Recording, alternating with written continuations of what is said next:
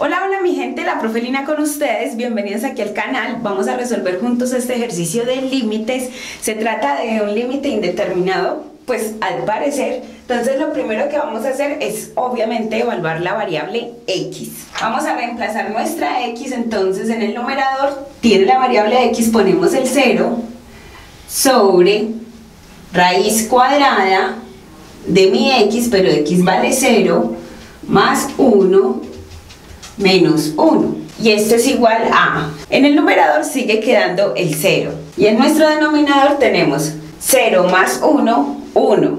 Raíz cuadrada de 1, 1. Entonces acá tendré 1 menos este 1 que tengo acá. Y sabemos que esto sería 0 sobre 0. O sea que sí, tenemos una indeterminada. Por lo tanto, vamos a eliminarla. Y como acá tenemos raíz cuadrada en el denominador, pues vamos a racionalizar. Es decir, vamos a multiplicar por la conjugada de nuestro denominador, tanto en el numerador como en el denominador. No se diga más y empecemos. Escribimos nuestro límite tal como está. Lo multiplicamos a continuación por la conjugada de nuestro denominador que viene a ser lo mismo, pero con signo contrario.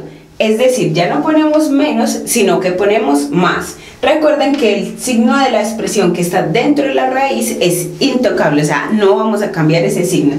Solamente cambiamos o modificamos el signo del término que está por fuera. Bueno, y a continuación pues vamos a multiplicar numerador con numerador y denominador con denominador. O sea, en el numerador va a quedar x que multiplica a la raíz cuadrada de x más 1 más 1 sobre y también en el denominador dejamos operaciones indicadas, es decir, este primer término entre paréntesis, raíz cuadrada de x más 1 menos 1 por raíz cuadrada de x más 1 más 1 y cerramos nuestro paréntesis. Listo. Si analizamos en la parte del denominador estamos teniendo una diferencia de cuadrados, que es la razón en sí por la que nosotros estamos multiplicando tanto el numerador como el denominador por la conjugada para que nos dé la diferencia de cuadrados y poder eliminar de allí esa raíz cuadrada y a su vez la indeterminada del denominador. Entonces recordemos un poco. Lo que tenemos acá es estos dos paréntesis, a menos b por A más B. Esta es nuestra situación, la cual nos desencadena la expresión A a la 2 menos B a la 2. Es decir, que nosotros realmente lo que tenemos es esto en el denominador y lo vamos a llevar a esta estructura. Vamos a hacer eso.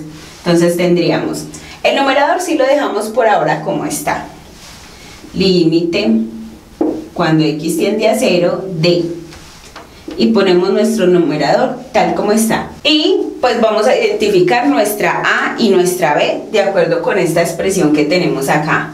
Nuestra A viene a ser raíz cuadrada de x más 1, porque es el primer término de cada paréntesis.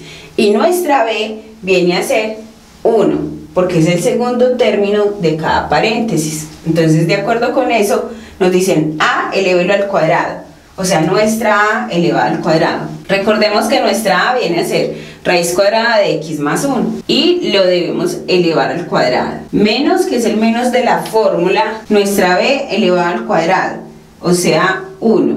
Pero también lo elevamos al cuadrado. Listo, mi gente, ya hemos aplicado esta expresión en nuestro límite. Y como ya sabemos, vamos a simplificar esta raíz cuadrada con este exponente a la 2. Vamos a escribir ahorita lo que nos quedó. Límite cuando x tiende a 0 de el numerador nuevamente como está.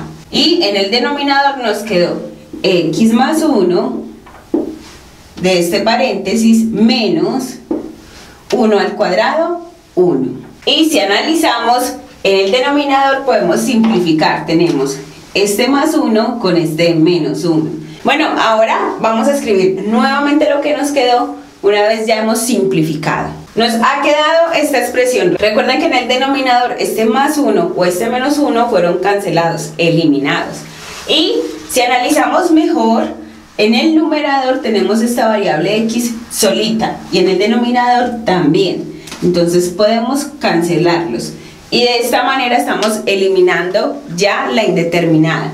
Vamos a escribir nuevamente lo que nos quedó. Ahora vamos a reemplazar porque ya eliminamos aparentemente nuestra indeterminada. Entonces, obviamente, reemplacemos la variable x en la expresión que hemos obtenido finalmente.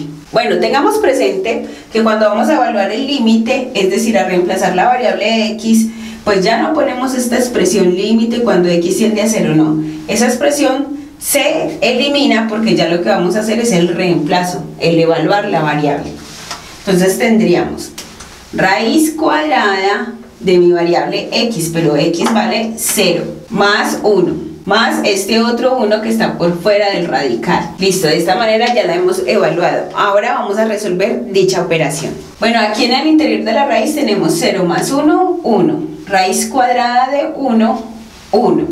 Entonces tenemos 1. Más este 1 que está por fuera nos daría 2. ¿Esto qué nos indica? Que el límite cuando x tiende a 0 de x sobre la raíz cuadrada de x más 1 menos 1 es igual a 2. Y listo mi gente, el límite existe y es 2. Bueno, no siendo más, se despide ustedes la profelina. Espero haberles podido ayudar con este ejercicio de límites indeterminados. Si ha sido así, recuerda darle me gusta. A su vez, en la caja de comentarios te voy a dejar el acceso para que vayas y mires más videos sobre límites. Por favor, mira esa lista de reproducción que está bien completa y muy interesante y varios videos de allí estoy segurísima que te van a ayudar. Bueno, no siendo más, se despide usted la profelina. Besos y abrazos para todos y que tengan un gran día. Bye.